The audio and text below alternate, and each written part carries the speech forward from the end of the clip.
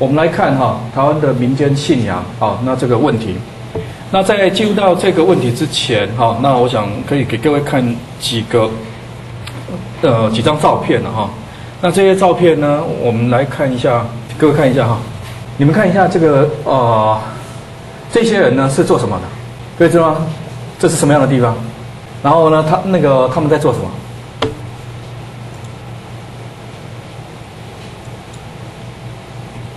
好，呃，据说这个是什么附身？呃，装装备不太像，三太子一般往往不是指的是那个罗刹，对吧？哈，骑无敌风火轮的嘛。那这一个呢，看起来好像他的装备不太对哈。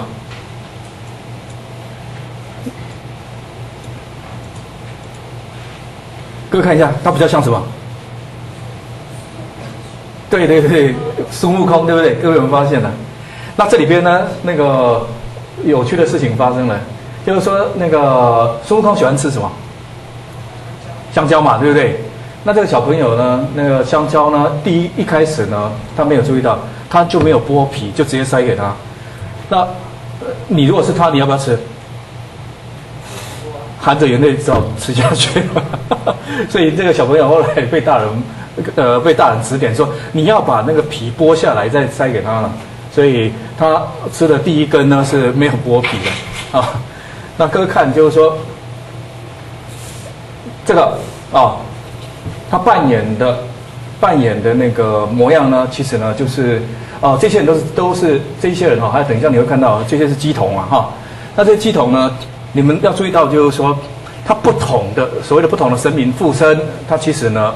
表现出来是不一样的哦，各位要知道这是很专业的哦，不能搞错哦。好，那像他呢，就是齐天大圣孙悟空附身嘛哈，所以你看他从头到尾，啊，包括你看他是不是要学那个抓痒，对不对？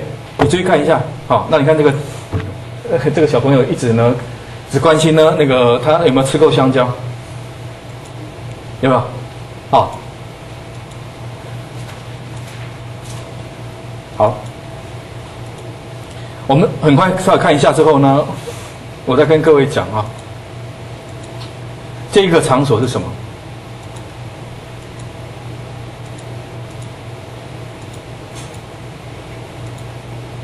各位知道吗？这个是鸡童训练班。你你们的想法里面呢，鸡童怎么来的？他天生就被附身，然后呢，突然就会讲天上的语言，然后呢，就可以呢帮大家服务。你问他事情，然后他就可以跟你讲玉皇大帝说什么，或者是说那个哦，比如说哦，那个啊，你看是哪一个啊？你去的庙，不同的庙，那不同的神，他就跟你讲不同的事情，是这样吗？这个小不小？其实他们上班之前。呃，应该讲说，正式能够为大众服务之前，其实前面有一段，他其实是在做训练，他必须要训练。那这个训练呢，其实呢，这个是你们要知道哈，每一个行业有它的那个哦职业的那个啊特点哈，或者是说，呃，他必须要做什么事呢？他必须要呢，对于呢他所服务的这一个庙，他的主要的神明，他必须要学得呢他的特色。例如就是说，这个是孙悟空嘛，所以呢，他就表现出是这个样子。好，换成另外一个场景，他如果是在妈祖庙呢，他需要这样吗？他不需要啊。所以他这一个人，他所受的训练呢，就是在那个孙悟空方面的庙宇。那如果你其他的你是在那个妈祖庙服务的话呢，你当然呢，如果是鸡童的话，有时候甚至还要呢模仿怎么样女生讲话。所以呢，这个都是有专业需求的啊，就是有专业要求的啊，所以。呃，并不是呢，呃，随便啊就能够当机筒啊。好，另外呢，各位看一下哈，各位有没有看过这个？这个在做什么？各位知道吗？你们晓不晓得？就是你要道士，你要成为大法师是要检定的哦。而且这个检定呢，它是有它既定的流程啊。那请各位看一下呢，这个流程是什么？他要各位知道他要做什么？那在现场哈，当然呢，之前呢会先做一些法事了哈。那这些法事呢，先做完之后呢，你看哈，这个都有相关的那个标准流程啊，标准流程。然后呢，你们再往下看哈，这些都做完之后呢，好，各位看啊，王说这个有一个先锋官啊。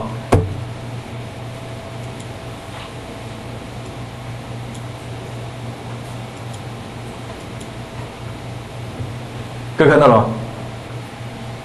这是电梯，就是各位哈，大概呢，各位想一下，三十公尺十层楼高嘛，那他要上去再下来，那才通过这样的检定，好，通过这样检定。那来，我们先问各位，你们觉得会不会受伤？那你要爬这种东西，有没有有没有技巧？有什么技巧？各位想一下。那要怎么爬？你的脚要怎么踏？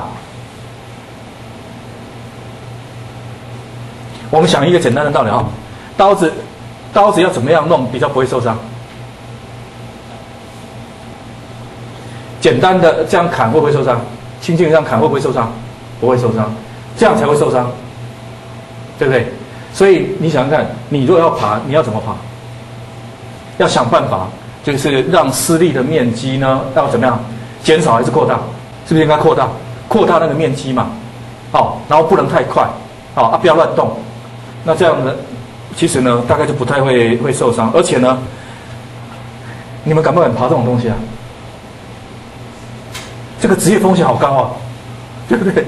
就是各位看哈，那我们现在呢，在看哈。这样的活动呢，他会不会做安全措施？我相信古代应该是没有了，但是呢，现在在台呃，目前台湾呢，在做这些大法师的检定呢，会不会做安全措施？一定会的啦。如果没有还对啊，你想看爬一半掉下来怎么办？对吧？哈，那那个会引起很大的争议。所以我们来看后面哈，你看哈，它这个每一把剑哈，其实它是有贴那个符纸的哈。那你等一下看它的脚。各位注意到，它不是这样子，它是这样，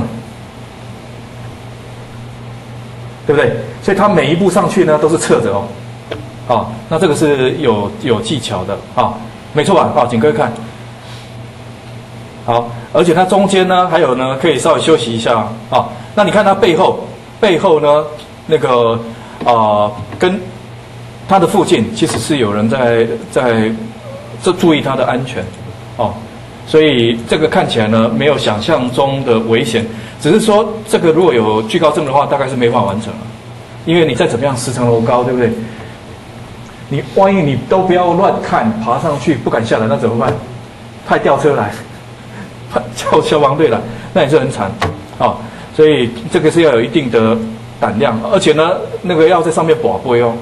所以他有他既定的那个仪式哈。好，那这个大法师呢，是不是只有男性？没有，像他这个就是公主的女儿。哦，所以呢，那个你们看，就是男性、女性其实都是有的哦。好，那这是给各位看一下，就是说在民间信仰里面哈，有一些那个。哦，现场大概是这样哈。好，另外我们刚刚讲孙公附身那个哈，那现在再来看哈，那个正式的训练班，你们应该比较少看到这么年轻的了哈。对，我等一下给你们做对照，就是像他这样的应该是比较少。这个是训练班哈，我们刚刚前面讲，就是说他的那个呃步伐要怎么走，啊，其实呢这个都有教导。所以你们有没有注意到，每次的那个庙会活动的时候呢，他们走的那个步伐呢，好像呢都颇为类似，对不对？那个都不是自创的，这个呢都是全部呢都是在这一呃这样的场合里面呢不断的那个训练啊训练出来的。所以呢，你看到哈，他的仪式也好，或者是呢那个他要那个比的手势，啊。还有脚，这个其实呢，啊，都是在这种地方呢做训练的。那我再给各位看一个，一群鸡童，如果全部呃在一起，大概是什么样子啊？这个就正式出正式上演了。刚刚那一些是先修班的，这一些才是正式的啊。那他们呢，那个是到一个比较花莲那边很大的庙宇，那你看到呢，各式各样的，啊，各式各样的那个不同的机筒，你们大概稍微看一下了哈，它的台步、它的手势，这一些呢，哦，不会有那个差距，不会太大哈。那另外呢，你们有没有注意到，就是说？女性的好像没有在做这个事情，但是男性呢，通常呢，有时候会拿一把剑去砍后面，对不对？那我们等一下再问你们一些问题哈。那他为什么一定要穿这样？这个这个围兜不是都小孩子在穿的吗？然后为什么会穿这样？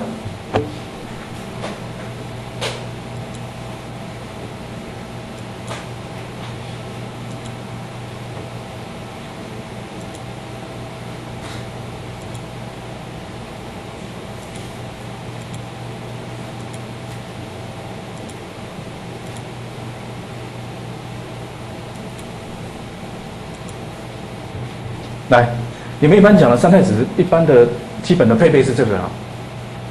罗刹是不是那个要有个风火轮嘛？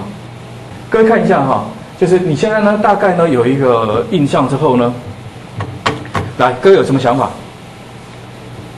你们有没有什么想法？就是说他们的角色是什么？他们在民间信仰里边的角色是什么？而且有各位有没有注意到，这是一个很独特的现象，对吧？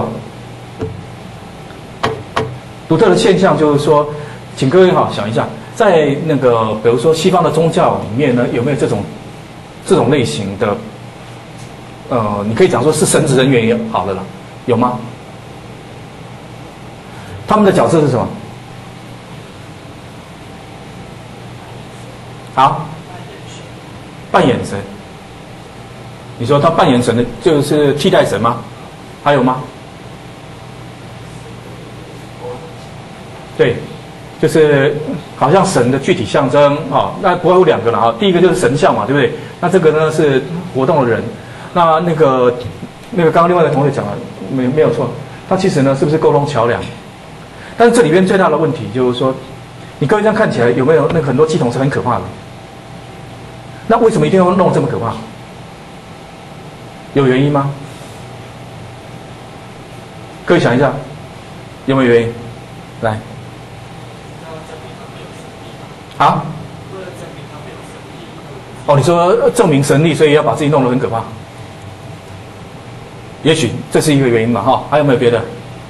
还有，我们再从另外一个角度来想，这一些人，这一些人在社会上呢，是属于哪一个阶层？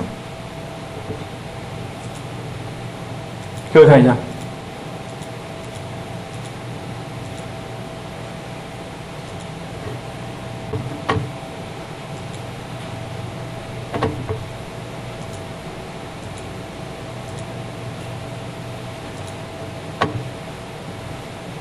各位看一下哈，这一些人呢，你纯粹这样看，很快你就可以分辨嘛，他在社会上是属于什么样的阶层，或者是大大概是从事什么样的工作？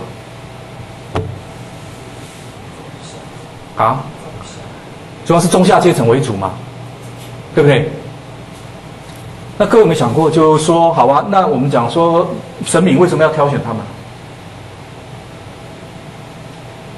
你如果是爱因斯坦，对不对？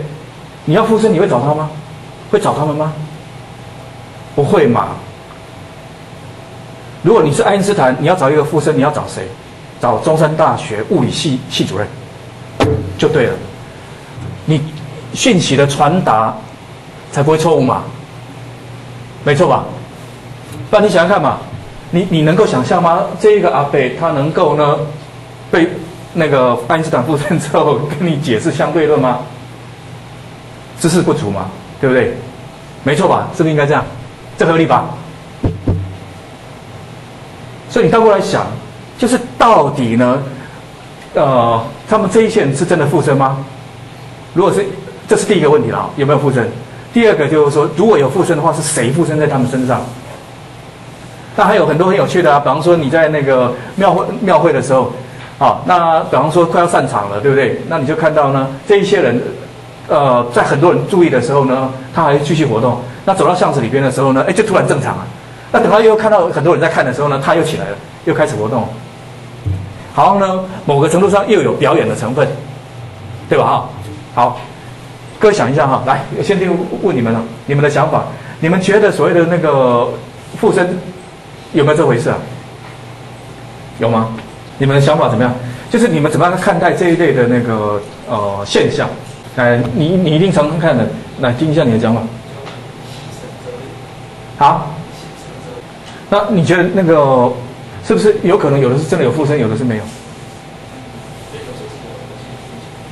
对吧？哈，所以到底呢，那个有没有附身？其实我们其实从呃从外人的角度很难分辨的，因为他这些每一个人呢，其实都受过训练，他有没有附身，其实他就是那个样子。啊，就是这那个是至少你职业水准的人必须有办法然后表现出这样哈。那第二个就是说，那到底是谁会附身在他们身上？那这就很有趣了。哦，好，那第三个问题出现了，那神明附身在他们身上，目的是为了什么？来听一下你们意见。为什么他如果他在天庭过得好好，他他干嘛没事来瞎搅和？对不对？他为什么要来？那你为什么要让大家相信你存在？问题是香油钱，他能干嘛？香火。这里边就讲到一个有趣的问题。你们晓不晓得，全世界现在只有谁哪一个地方还在烧纸钱？你们知道吗？全世界的台湾。你们觉得那个纸钱的目的在哪里？因为再来农历七月的时候，你会看到那常常的拜拜不是烧纸钱？那。烧纸钱目的为了什么？啊，妙方赚钱，货币。好啊，那货币是不是牵涉到汇率？你告诉我，那怎么换算？人间跟那个 跟地地狱的那个汇率怎么换算？而且它有没有对口银行？一比二十吗？对不对？新台币跟人民币不是大概一比五吗？好啊，那你说你烧纸钱，那怎么换算？这第一个，好，第二个。你烧那个纸钱，最后谁收？谁收到？各位想一下，谁收到？有谁收到？那如果说你烧那个东西，对不对？会是为了让哦给阴间的亲戚或者是朋友、亲人，对不对？那反过来想一下，全球七十亿人口，绝大多数的人是没有烧纸钱的。那他们不就很惨？他们的亲友不是都在地狱哀鸿遍野，惨得要命。那就我们这两千三百万人的亲友，太幸福了。每一个人呢，隔每隔一段时间就可以收收到纸钱，对吧？是这样吗？你们有没有想过这个概念？就是说，那个烧纸钱其实是一个很奇怪的事情，对吧？那最近呢，那个我看到有一个庙的做法就很不错，他说。你与其烧纸钱，你不如呢？你那个纸钱呢？一百块，对不对？那你就直接呢？一百块买米，你就拿米来拜拜。那你要拿回去煮，哦，没有问题。但是呢，你如果要捐赠，那更好。这样是不是很实际？对吧？你没有伤害到任何人啊，对不对？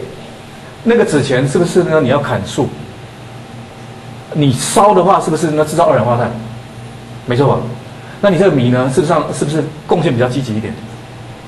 对不对？没错啊，所以呢，这里边呢，我们一开始呢，先跟各位讲，就是说我们在看待呢这些现象的时候，其实有一些问题呢，你大概进一步呢思考的时候，你会觉得有些地方有点奇怪。好，换一个方式问：如果你是地方首长，你敢叫大家不要烧纸钱吗？不敢，绝对不敢。原因很简单，你下次还要选举，你试看看。没错吧？你敢叫大家不不烧吗？因为大家的想法很根深蒂固了嘛。好，那只是说。我们现在呢，在谈论台湾的那个呃这一些宗教问题的时候呢，一开始呢，我们先来看这一些，让我们来想，就是说，呃，台湾啊这个地方的那个宗教现象呢，有哪一些呢？其实是非常特别的哈。那这个特别的呢，包括呢，那个各位呢，可以注意到一个现象，这个现象就是说，台湾的庙是不是非常多？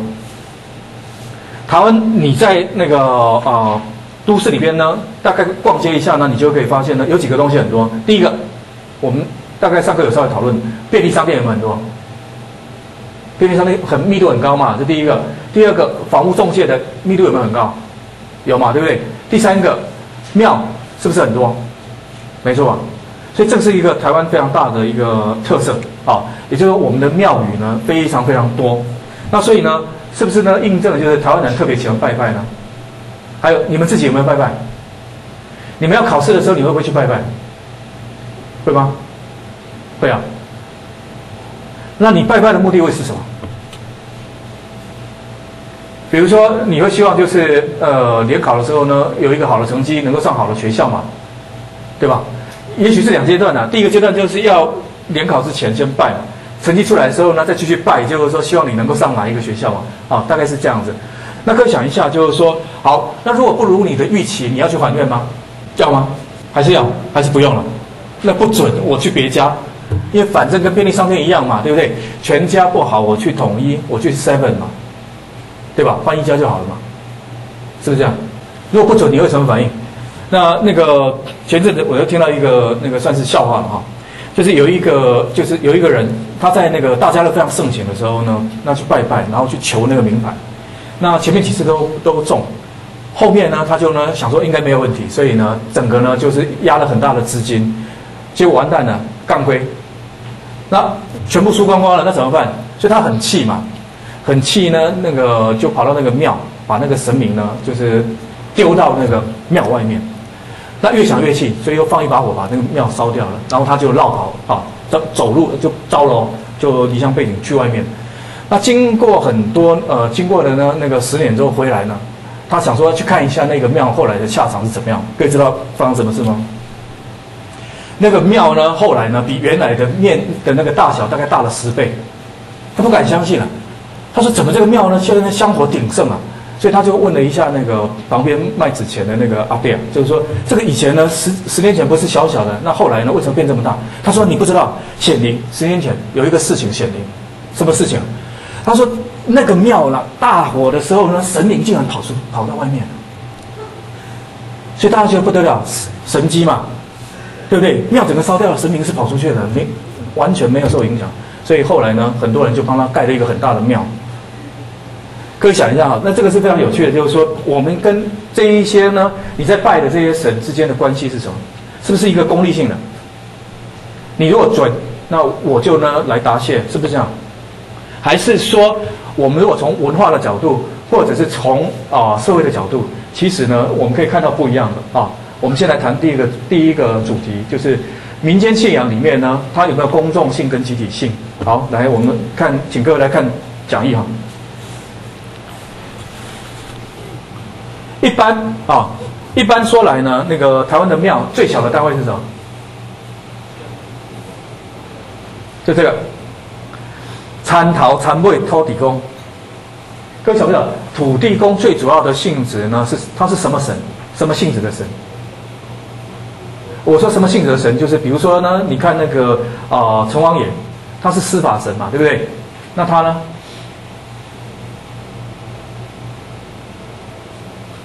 他是什么？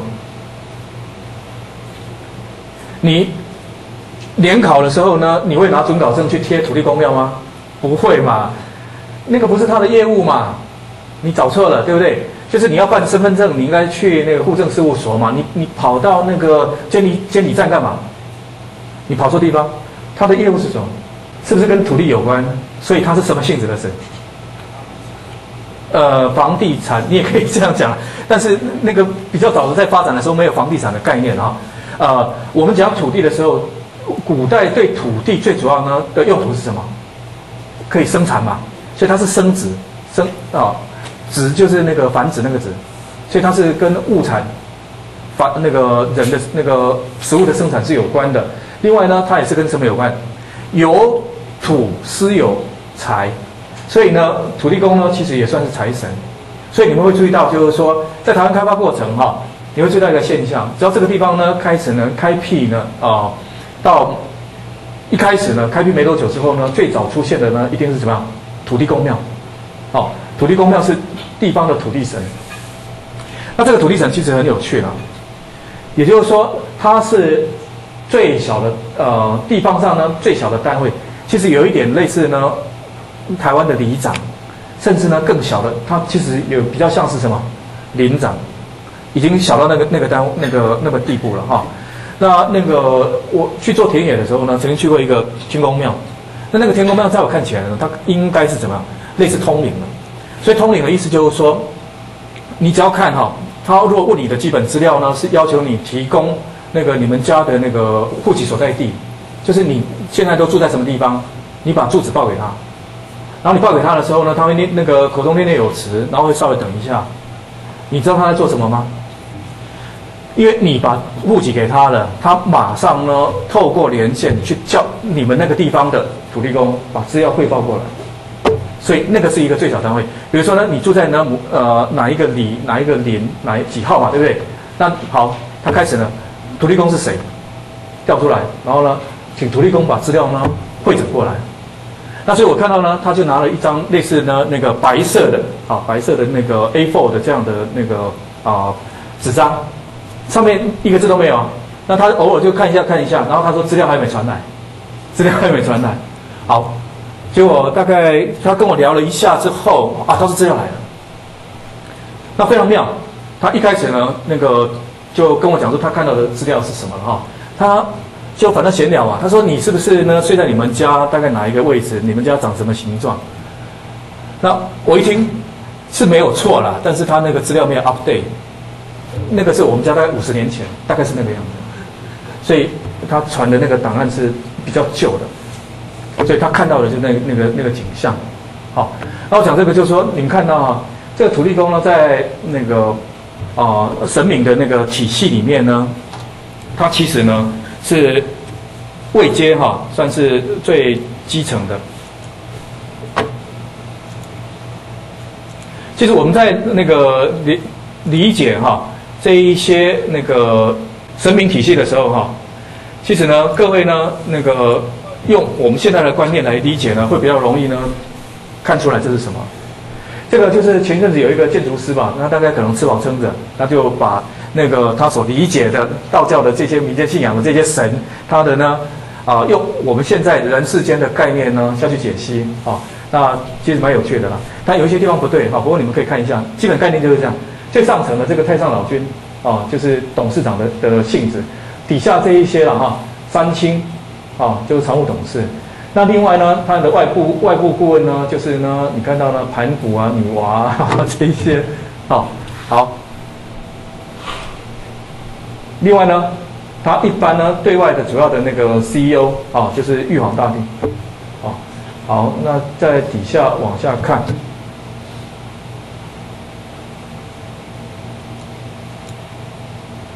你看啊，他是不是还有很多的其他的事业群？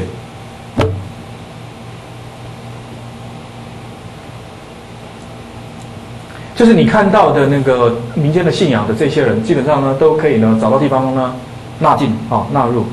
那另外就是他还有就是不同的啊不同的那个啊出生来源的。人哈，还有各自的那个守护神，各位知道吗？像说那个漳州啊，一般漳州呢就是开漳圣王啊。那还有呢，你看到呢泉州啊，泉州呢其实呢那个是你们有听过广泽尊王吗？郭洪甫啊，那个是泉州的啊，泉州的。那那个开漳圣王主要是漳州的啊，大概是这样。所以你如果从这个角度去理解哈，用现代概念去理解呢，你大概就会比较知道，就是说这一些呢传统的民间信仰哈，它的那个啊一些想法啊，大概是什么样子。好，请各位来看哈，那这一些呢那个土地公庙哈，你们看到呢，一般说来呢啊，它是带有呢所谓的那个啊部落性质啊聚落性质，那这些聚落性质呢？而且就是它跟村庄呢，啊，它跟村庄之间呢，会有一些关联，啊，会有一些关联。比如说呢，你们看到呢，那个有的村或庄，啊，它会有呢那个，啊，土地公庙。那有的是一开始是自己盖，但是呢，就呃，我们讲一个简单例子哈，比方说你的土地你弄了一个土地公庙，对不对？那你那个其他呢附近的田地的农夫会不会过来拜？会的，你会让他拜嘛？对不对？反正大家拜拜保平安嘛，大概就是这个样子哈。所以你们看到就是有的私人所有，那有的是呢大家出一点钱啊。但不管怎么讲，就是啊大家一起拜啊。那另外呢，这里边有一个名词叫做吃福啊，假后。那这个吃福的意思就是说，那个啊拜拜之后的那一些贡品呢，大家怎么样？就是一起吃啊。那通常呢会有卤煮呢啊，他就办桌。什么叫办桌？办桌应该算是台湾非常有趣的一个现象。你们呃找得到别的地方呢？有像台湾这种黑松大饭店吗？你们知道黑松大饭店？就是你在路边，对不对？你就看到呢，把路这边跟那边挡起来啊，然后搭棚架，然后就摆一个二十桌。你们有没有吃过这种喜宴？有嘛？这个就是南部很很有特色的，就是黑松大饭店嘛，对吧？这种半桌怎么来的？其实呢，就就是呢。跟当时的社会形态以及呢这样的宗教信仰啊，其实呢是有有关联的。啊，各位刚刚看哈，我们讲说那个半桌哈，它其实是跟整个当时的那个社会，其实是很有关系的。也就是说哈，你那些拜拜的东西，对不对？你找一个呢那个中破塞来，他就根据你现有的食材呢啊，然后煮给大家吃。所以你可以看到，就是说有很多的现象呢，其实是跟呢整个社会发展呢是有直接关系的。哈，我们休先休息十分钟啊，先休息十分钟。